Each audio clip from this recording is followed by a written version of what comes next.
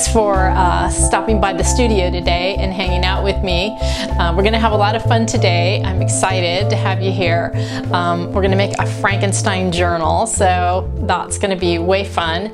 But um, first of all, let me introduce myself. My name is Caterina Giglio, and everybody calls me Cat. My husband Don Diggison and I created this channel about three years ago, so there's lots of videos for you to watch. And we want to thank you in advance of all your subscriptions, your, um, your shares, your comments, your wonderful comments. Love chatting you up. And um, for all of your likes, your thumbs up, um, and subscriptions. So thank you so much for that. And we've been, we've, I mentioned this in a couple of other videos that we lost our livelihood for the year due to COVID. So no teaching classes, no gallery shows, all of that stuff has stopped. So if you'd like to support our channel, um, Don has, has created a tip jar, woohoo. We want to thank you so much for all your tips from the last video. We really appreciate it. Every little bit um, helps us and um, it's just, it's a wonderful um, it's just wonderful to have your support. And then there are two other ways that you can support us. You can uh, click on our Amazon links and uh, purchase one of our recommended supplies. Or if you buy from Amazon all the time, you can use our link to go there and they will kick back a few pennies. And like I said, every, every bit helps. And the last way is to support my art, to buy a piece of art from the gallery, 142 BIS. You can find that information right on my site. Don will put that on the screen. Um, there's an online gallery and there's also lots of art that's in the store and the gallery um, and Meg would be happy to, um, to do a FaceTime tour with you. So there's all that. So let's make a Frankenstein journal. Okay, so here's my Frankenstein journal. Um, it's really yummy. Uh, Meg gave me this book. Meg represents me at 142 BIS Gallery, and she gave me this book years ago, and um, I just couldn't get over it. I just love the cover and uh, the the uh, the spine and everything. And believe it or not, this is what was in it. So this is how thick it was. I mean, it was tiny. It was so thin, and all this fabric was like you know, just sloppy and just hanging there. So I thought it would be really fun to make uh, an altered book out of it, and that's what I did. So um, Today I'm going to show you how you can make one of these. You don't even need a cool book. You can make it completely out of cardboard. We're going to make a brand new book and um, I'm going to share that technique with you right now. So I'm calling it my Frankenstein journal. It's actually a botanical journal. It's a string journal. So if you're not familiar with that, um, string journals are very versatile. Um, and I'm going to go over all the hardware and everything with you and um, in the next video of how I created the cover, which I love.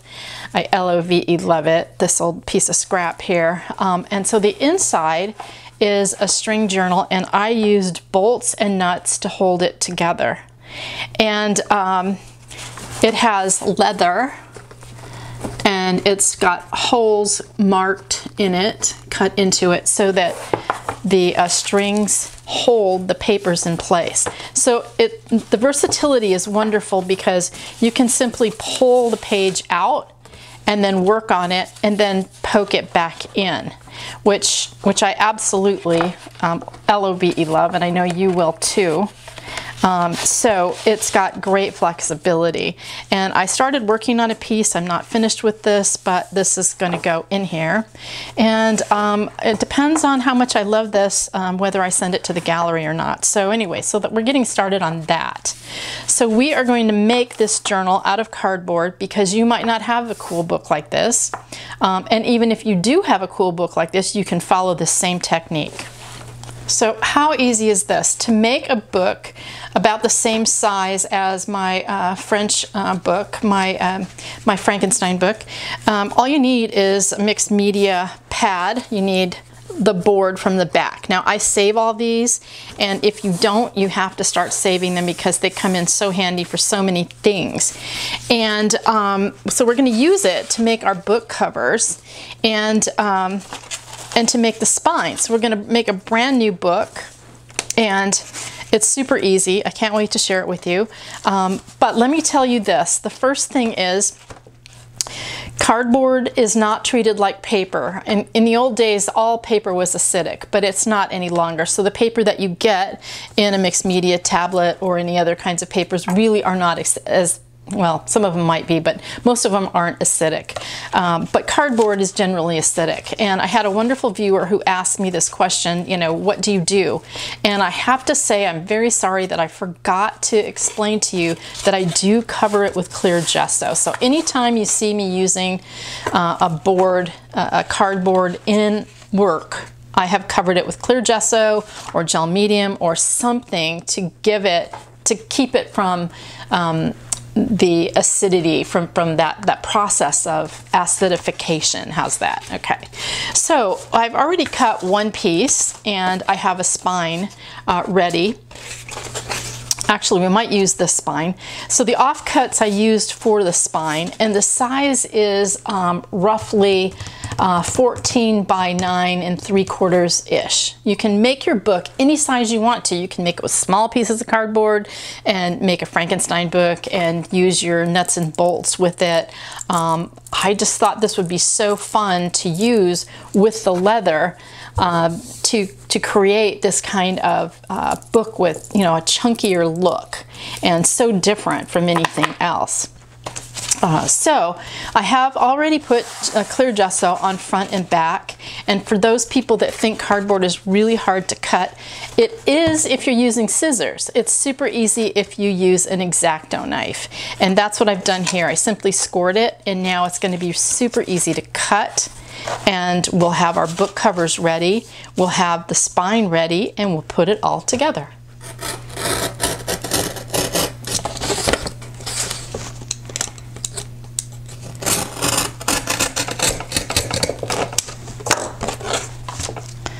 Alrighty then, we've got both book covers and the spine.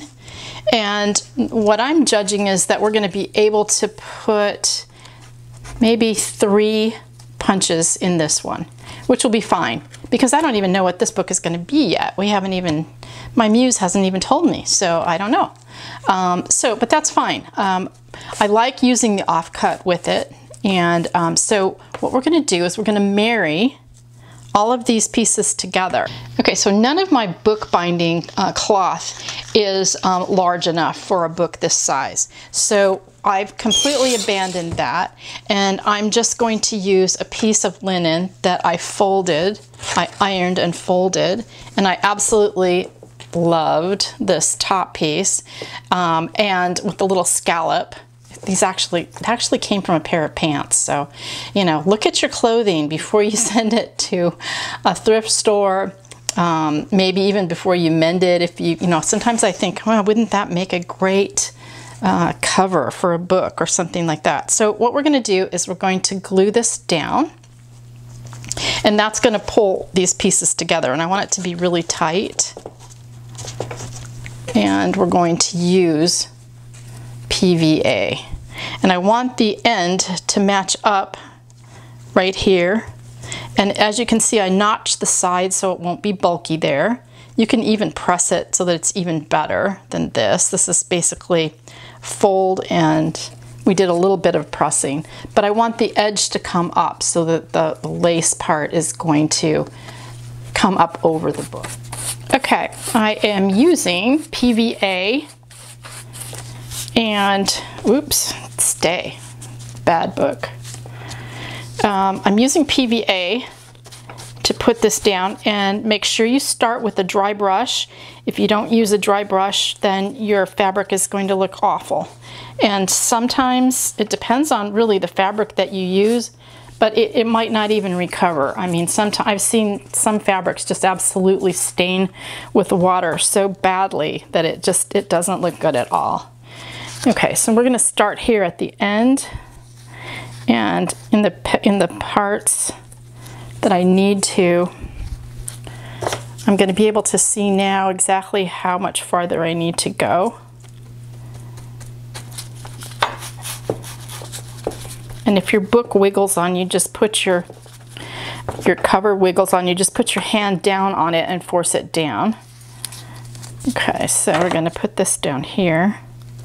And, and I'm using PVA for this because it's a, it's a, PVA is a typical bookbinding um, glue and it's definitely archival.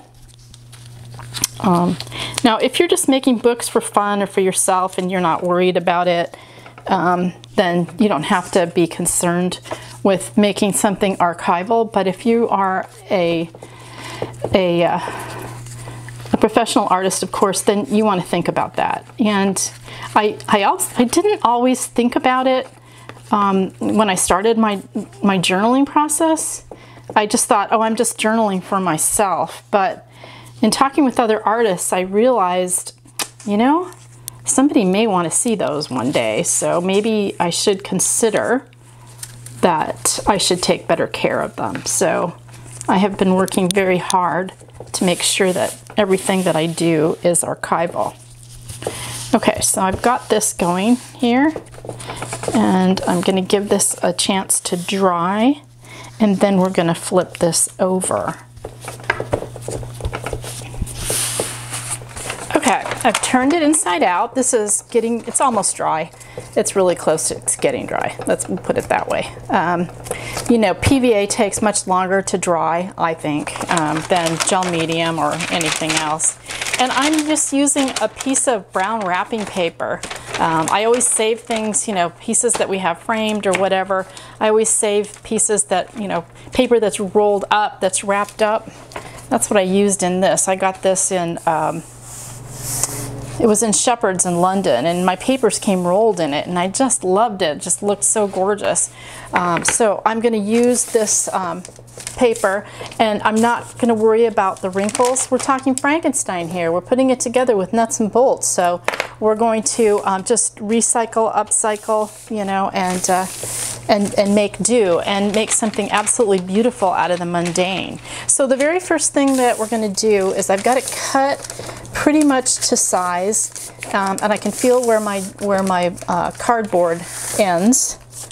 And um, I want it to go right to the end because we're just going to use um, our, our uh, sanding sponge to, um, to, to clean off the edges. So we won't have to cut it or any of that stuff. And I'm just going to fold it back. Just as long as you have a bit of an edge uh, you know to uh, to sand off you, don't want to cut yourself short Okay, I'm starting with the spine.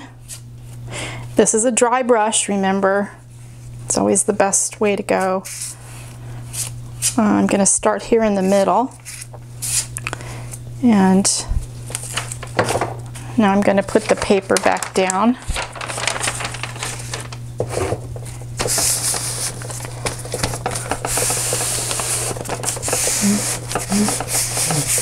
Going to smooth it out. Now you can see where the edges are. And now it's going to stay put. And now we can go back. And it's always, I find that it's much easier to just do segments at a time. Now you can glue it any way you want to. You know, it's your journal, it's your book. You get to, you get to do what you want. But, um, but this is how I like to do it.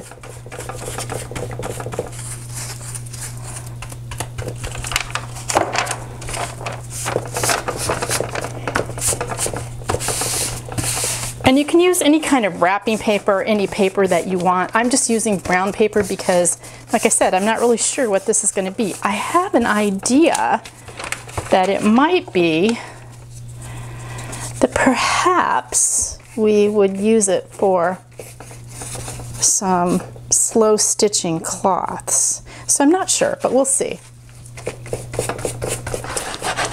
Okay, I've got a really good connection here. If you don't like the wrinkles, you can smooth them out.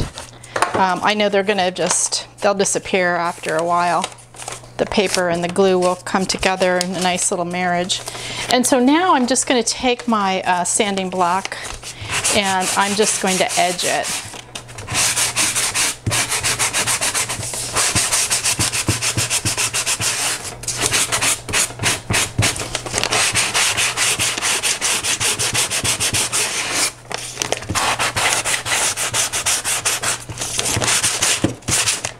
I keep sanding sponges in different grits, um, fine, coarse, medium, um, because you just never know. And this is this is probably a medium grit.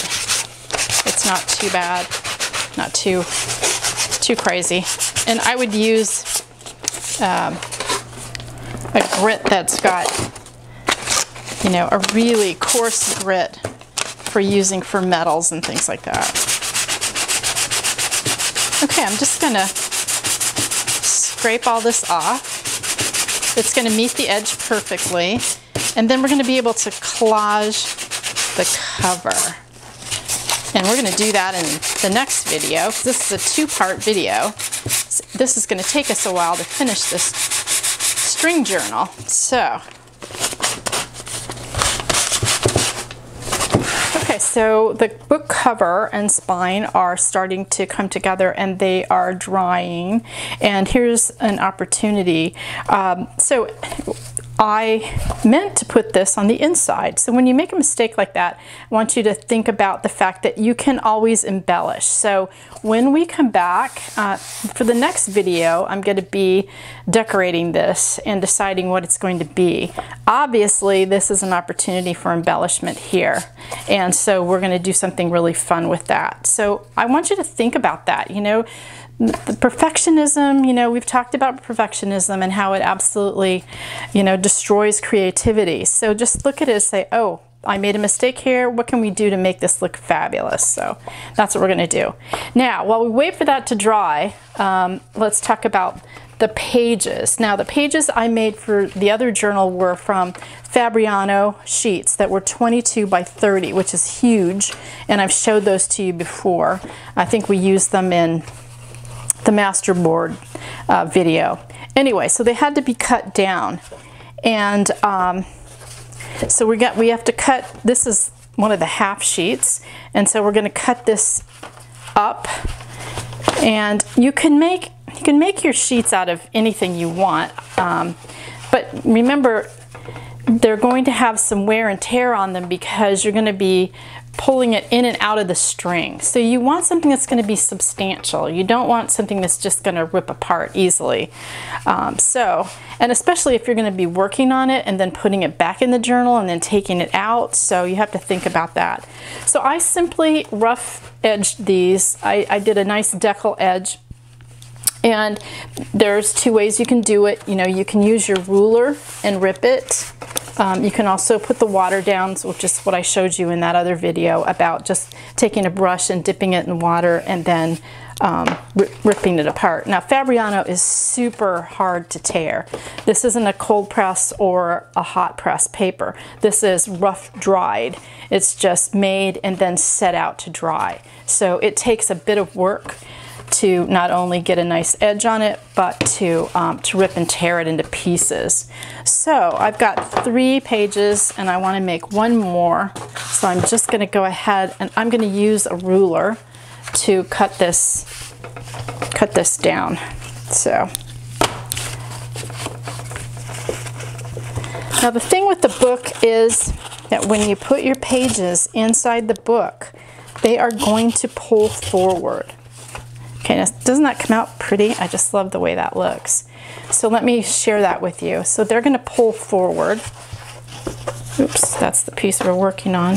So see how they come forward? So they're going to be, so what you're going to have to do is decide how, what size. And don't be concerned if you make them and you think that they fit the book, and then they start falling out. You can always take them out and cut them down to size, so don't freak out if that happens.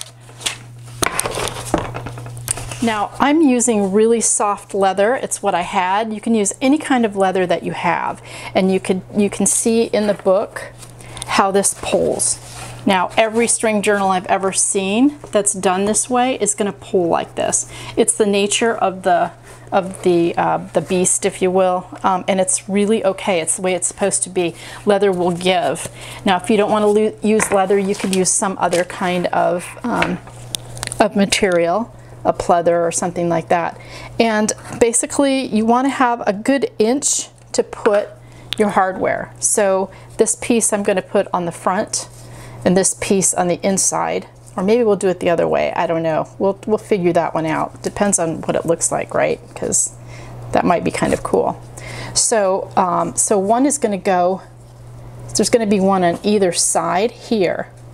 And I don't want the holes that I'm going to put into the leather to be too far down. You want them to be about, you know, in the center. So I'm going to go ahead and with my um, Prismacolor, I'm going to mark dots where I want to punch the holes. And I'm just going to use a hole punch to do that. I'm going to do the same thing down here. So I'm just going to put the guides in here because this is where they're going to be. And I'm going to use about this, do about the same here. One, two, three. Now you can make your spine much bigger and make a much bigger book. Um, the only problem with it is that it's really going to fall forward, remember, and it's it, you run the risk of ripping the leather out. So you want to think about that. Okay, so I'm using a hole punch. I'm going to punch through here and we're going to punch through the board using this hole punch. Now, I wish I could tell you what it is, but I buy them at estate sales and garage sales, yard sales, things like that. And I buy all different kinds of sizes. So I'm not really sure what size it is, but um, all you want to do is make sure that it's going to be about the same size as you need for your string. Now this is old kitchen string and it's really thick. You can't just use plain string because it will rip out. Well, you can if you're using if you're making a small book, which, you know, I think we should make some mini string books, don't you? So I'm just going to punch where I put the um, the Prismacolor. Just punch through it and it makes a really nice little hole. Okay, so the cardboard and the fabric together made a really tough combination. So I've had to use an awl and do it the old-fashioned way, which if you don't have a punch that will go through your book your book board or your cardboard, whatever you're using for your Frankenstein book, um, then you can go back to doing this. And it's I'm simply using an old book, which I love using, um, and then I've punched through, and this is my biggest awl. Now awls come in all different kinds of sizes. So I've got really thin ones, fatter ones, and they work really well to push through all the way. And then what I'm going to do is just take a pair of scissors and I'm going to make that a little bit larger so that my, uh, my nut and bolt will fit through. So that's what we're doing right now. Okay, so the old-fashioned way, just mangle it. um, you could probably drill it too, I suppose. I didn't even think about that because I didn't do it with the other one. It was just really easy to punch through it and to uh, use my awl. So I'm just going to poke this in here just like I did with this one and just screw it in.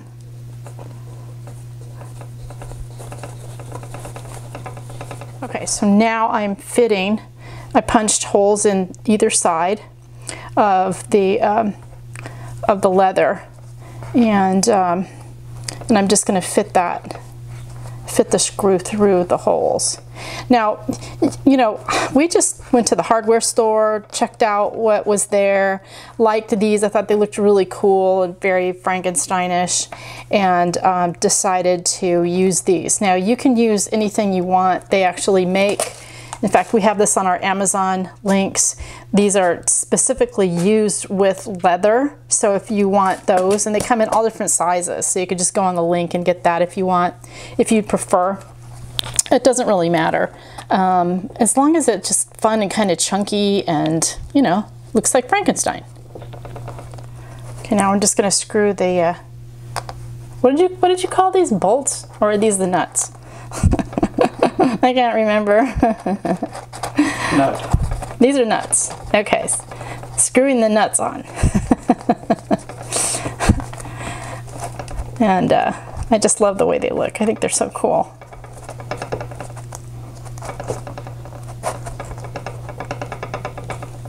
Okay, now we're going to do the end. Okay, I'm using just plain old kitchen twine for the string. And you can you can use all different kinds of things. You don't have to use this. You could use lots of other materials. And you can uh, you can just you know figure that out as you go along um, and, and play with it and see what works well for you. So the way I figured out the size was simply to lay it here and to just bring it over and to see where I was going to tie it. And I thought I would tie it right in the middle here and um, then cut it. And um, now, because this is so thick, I had to dip it in water um, to get it to, to go through.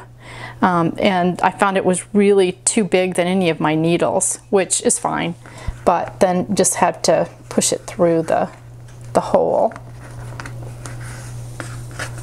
and this side too. And then I just tied it off.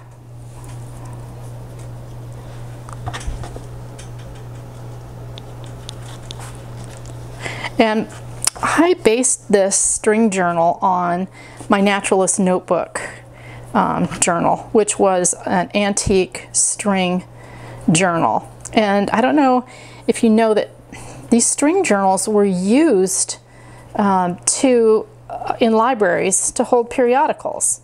And um, so they would put they would take the old magazine or newspaper out and just fill it in and you know just consecutively so when they got a new one they would take the old one out and just throw it away now you don't want it to be too tight but you want to have um, you want it to have a little bit of tension and I just waited until the end and cut those off. Okay, so I have all the strings in, and now I'm just going to poke the pages in.